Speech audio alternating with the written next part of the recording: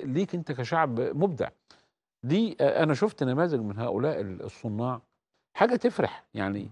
فازاي أقدر اشجع الناس دي على ان هو يبقى انتاجه يوصل لاكبر عدد ممكن من الناس. إحنا الحقيقة كل سنة بنستضيف آه، عدد كبير من العارضين.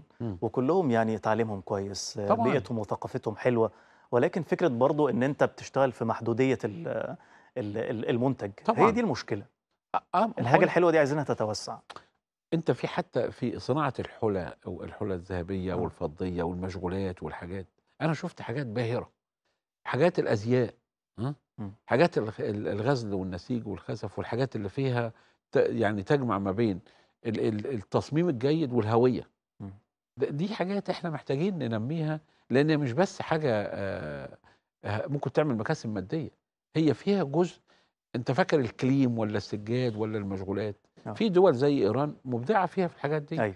أنت ليه ما ما, ما, ما- ما نعظمش من هذا الأمر؟ عشان ده جزء من هويتك ال- اللي أنت بتتعرف بيها زي مم. فكرة القطن المصري.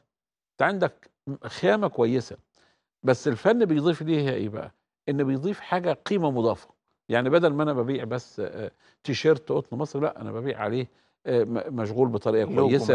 بالظبط كده. آه مم. طب يمكن يا أستاذ عماد برضه حضرتك اتكلمت على الهوية. مم. هو إحنا هويتنا لسه موجودة؟ يعني على سبيل المثال وإحنا بنتكلم على الحرف وال- والمنتجات الزي المصري ال- التقليدي اللي بيميزك هو إيه دلوقتي؟ بص ده سؤال صعب جدا و- وللأسف الشديد مفيش وعي بيه. أنا لما بروح البلد أنا فاكر كويس جدا مرة روحت قريتي في أسيوط في العيد فتصورت صورة مع بعض أصحابي وحطيتها على الفيسبوك وكنت لابس جلابية بيضة مش الجلابية المصرية. الجلابية اللي هي اللي هي. أيوه. الكم الواسع لا. الكم الواسع مش هي دي دي دي الأصلية. آه. فلقيت حد صديق بيتصل بيا بيقول لي أنت غلطان غلط كبير آه. جدا لأنك أنت لابس هذه دي مش جلابية مصرية. آه. الجلابية المصرية هي ال- البتاع دون والكم الواسع أيوة.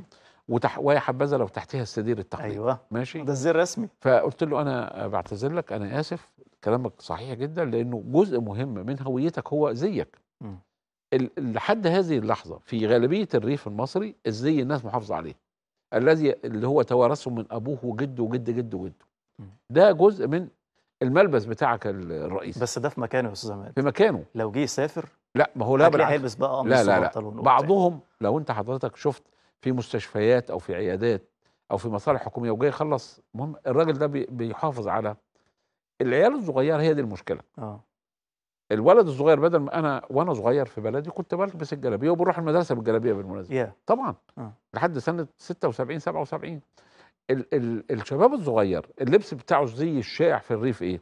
ال training والتيشيرت. وأول ما بيكبر شوية بيروح لما بيروح المدينة ولا بيلبس البنطلون والقميص. مم. مش عيب إنه يلبس البنطلون والقميص بس أنا بتكلم هنا على الزي الطبيعي بتاعك. تبقى عارف إن ده زيك مم. وإن دي هويتك. لأنه واحد من أهم أنت بتقدر تشوف زي مثلا الزي العربي في الخليج هو علام رمز لل بالظبط وتقدر تعرف إن إن آه. هذا الزي آه آه، شماغدون والمغرب العربي كمان والمغرب الكلام. العربي اللي هو آه. ال- الجلابية ذات الزنط دي آه ماشي أو الجل- السيد أو الزي الفلسطيني